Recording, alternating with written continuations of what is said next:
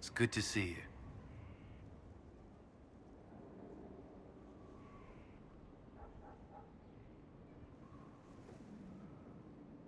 You and the Red Templar's leader seem to have personal history.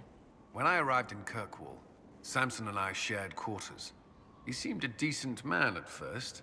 Knight Commander Meredith later expelled Samson for erratic behavior. He ended up begging on Kirkwall streets. He committed further crimes, but managed to evade the Order's justice.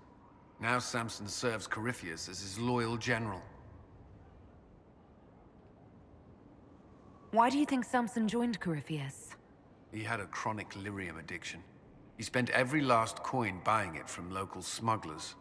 Perhaps Corypheus flattered his vanity, gave him purpose as well as lyrium. Perhaps that's all it took.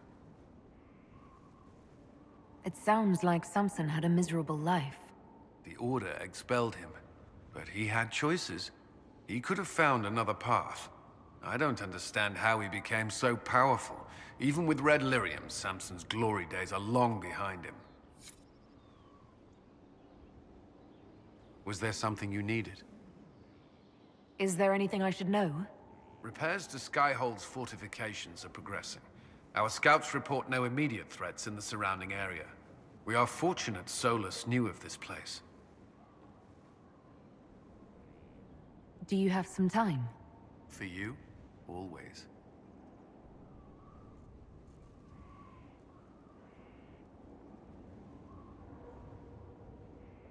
The day you kissed me on the battlements, how long had you wanted to do that? Longer than I should admit. The time Dalish never bothered you. I hadn't considered. Elves weren't treated differently in the circles I served. I didn't think what it might mean to you. I hope that doesn't... I mean, does it bother you? I don't know. Maybe. If you're not serious. I am. If I seem unsure, it's because it's been a long time since I've wanted anyone in my life. I wasn't expecting to find that here. Or you. The Commander of the Inquisition and the Herald of Andraste. That will have people talking.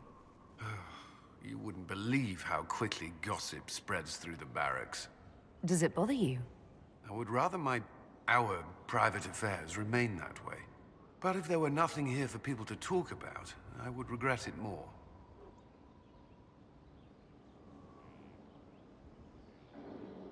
Think you could slip away? I believe so. Wait for me.